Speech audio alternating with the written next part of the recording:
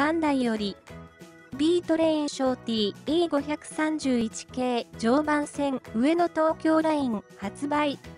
E531 系は2005年7月から運転を開始した JR 東日本の近郊型強直流電車です。403系、415系の置き換え用として E231 系、E501 系などをベースに開発されました。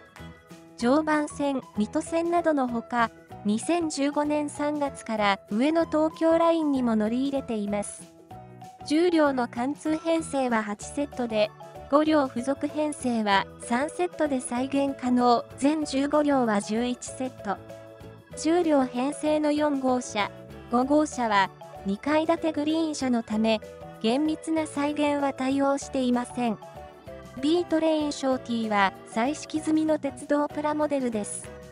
車体の長さを約半分にショーティー化した以外は、できるだけ実写のイメージを忠実に再現しています。だから、短いけど、とってもリアルなんです。組み立て型はとても簡単。接着剤不要なので、ランナーから部品を切り離しパチパチはめ込むだけで、鉄道模型顔負けのリアルな鉄道車両モデルが出来上がります。別売りの動力ユニット3、走行台車 T を取り付けることで N ゲージに対応します。組み立て簡単、ニュー、食玩、フレーム。セット内容、戦闘車、トイレ付き、トイレなし、に作り分け可能、中間車、パンタなし、パンタあり、に作り分け可能、ステッカー。